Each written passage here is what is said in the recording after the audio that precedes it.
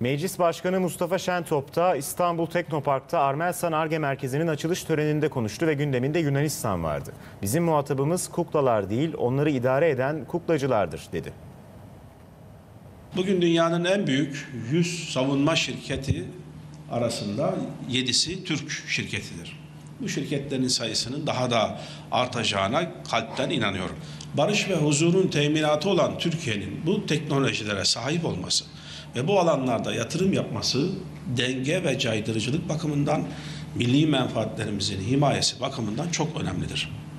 Biz kimseyle düşman olmak istemeyiz. Ancak bize düşmanlık edecek olanlardan daha güçlü ve teknolojik olarak onlara göre daha donanımlı olmak mecburiyetindeyiz. Özellikle başkalarının rüzgarıyla yelken açan Yunanistan gibi lokomotif değil vagon devletler için söylenecek bir tek sözümüz vardır. Bizim muhatabımız esasen kuklalara değil onları idare eden kuklacılardır.